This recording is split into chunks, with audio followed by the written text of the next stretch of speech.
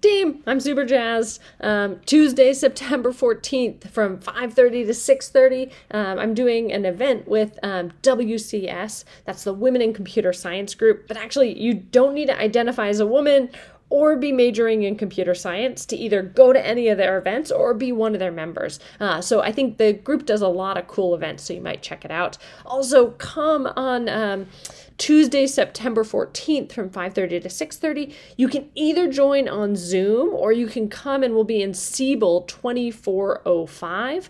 Um, so check that out, and that's the one right by the like outdoor patio on the second floor. Um, so you can participate either in Zoom or online. Um, I'll talk a little bit about my background, my research, and stuff like that, and there'll be opportunities for you to interact with other people in CS 124.